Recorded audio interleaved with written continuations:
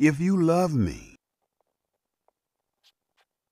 keep my commandments. I will pray to the Father, and he will give you another counselor, that he may be with you forever, the Spirit of truth, whom the world can't receive, for it doesn't see him and doesn't know him.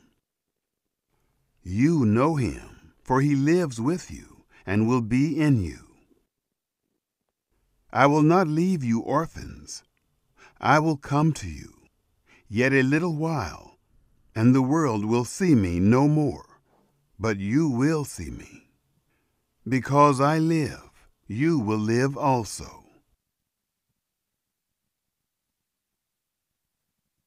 In that day you will know that I am in my Father, and you in me, and I in you.